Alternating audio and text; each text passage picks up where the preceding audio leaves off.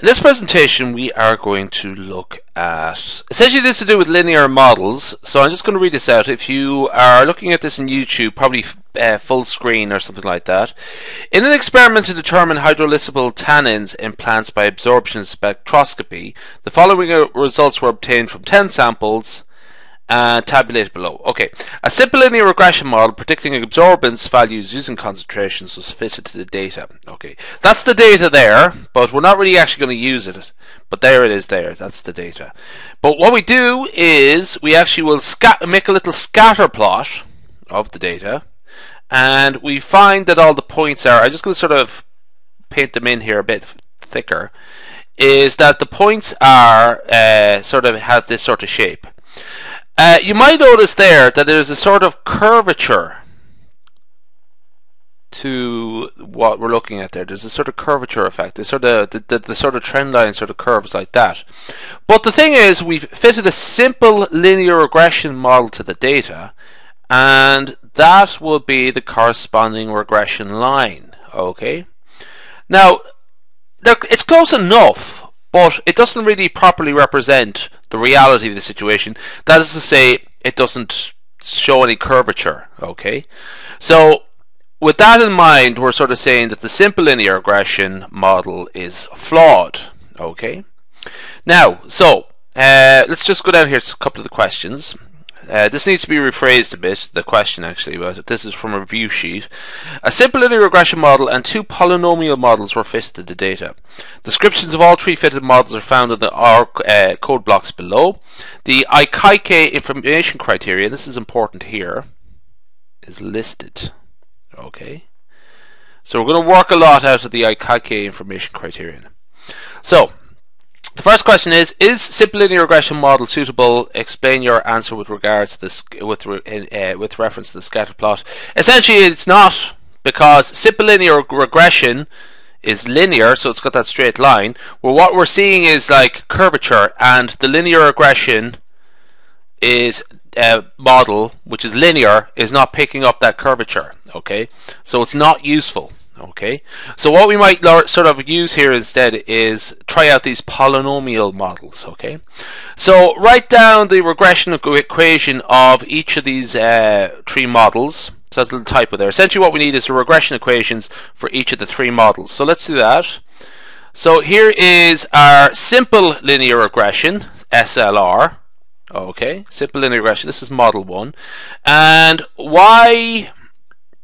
Just for all of these uh, uh, questions, y is absorbance. Okay. And x is concentration. Okay.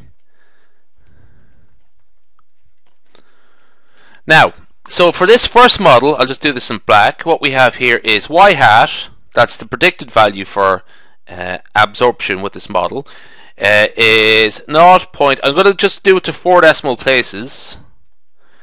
0.44 uh, 1441 plus 0.2808x. Okay, so where are we picking that up from? This column here. Okay, Th those are the regression coefficients here. The regression coefficients are in this column.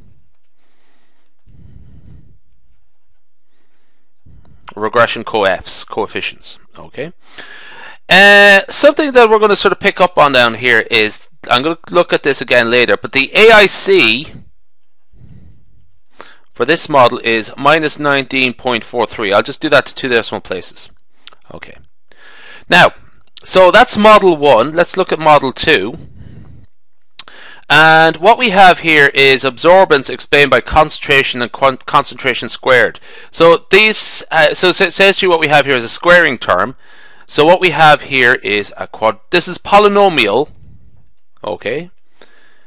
But uh, more accurately in this situation, we would describe it as quadratic. Okay, as there's a element, there's a sort of variable to the squared there. Okay. So concentration plus concentration squared. So let's just write this down here. Y hat equals naught point. Uh, uh, by the way, x uh, x and y are concentration, but we also have concentration squared, which is x squared. Uh, 0.065, we'll just go to four decimal places, plus 0.6492x uh, minus 0.1405x squared. Okay? So that's the regression equation here. Okay? Uh, we notice also again we're look at to again look at the AIC value. So here in this case the AIC value is minus 61.53. Okay, so just make a mental note of that for later on. We're going to look at one more model here, and it is this one here, Model 3. Okay, so what we have here is a cubic. This is also polynomial but it is also, we would also just be a bit more specific to say it's a cubic relationship. So we have concentration, x, x squared, and x cubed, okay, to predict y, okay. So it's a cubic, okay. Uh, so let's just write our equation here. y hat equals minus 0.0137 uh, just to be clear again, it's this column here, and I'm just doing it to four decimal places, plus 0.6086x minus 0.1081x squared minus 0.0081x cubed. Okay, so that looks pretty uh, interesting. But what we'll make a note of here is the AIC value here is minus 60.69. Okay, again, just two decimal places. Just a sort of quick remark about polynomials before I go any further. That they essentially the thing about polynomials is that they do allow for some curvature. Okay, so it's why they would be desirable in this case. Okay, so polynomial. This would be sort of a quadratic. There'd be a sort of very minimal level of curvature. Whereas cubic, you might get a bit more curvature in your model. Okay. Uh, the next one above that would be called quartic. It's bit, probably going a bit too far for us. Uh, but that would have more sort of uh, curvature again, more wiggliness essentially. So it's essentially you have to sort of figure out when it, do you have enough curvature and then when are you overfitting. Okay, something you have to be very careful when you're doing this sort of stuff is overfitting. Okay, so yeah, so you have something you have to think about. When is enough uh, allowance for curvature enough, and when is it too much?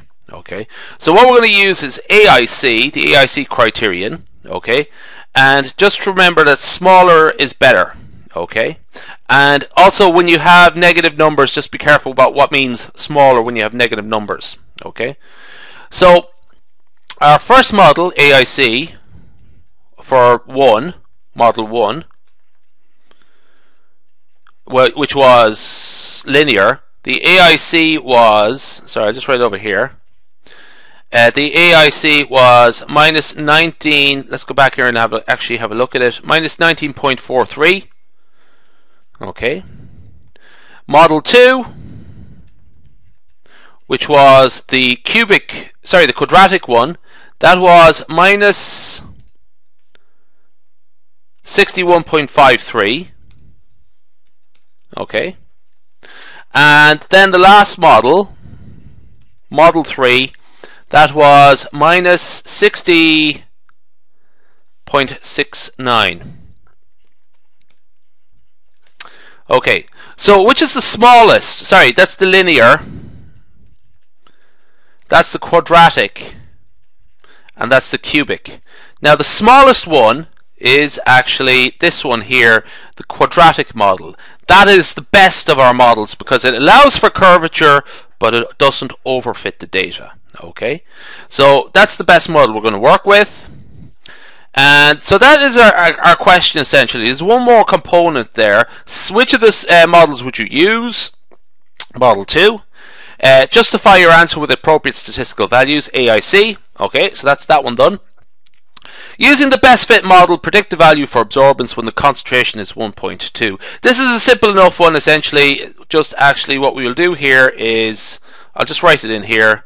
y hat when x equals 1.2 is equal to 0.0065 plus 0.6492 times 1.2 minus 0.1405 uh, 1.2 squared. That's a little bit of calculator work. I'll let you finish that yourself. Okay. So that is the predicted value of y when x equals 1.2. So that's question of polynomial regression and AIC. So for one of my groups, that's question 31. Okay. Well, actually, on, uh, as currently listed on my listings, it's 31. Okay, that probably might change. Okay, goodbye.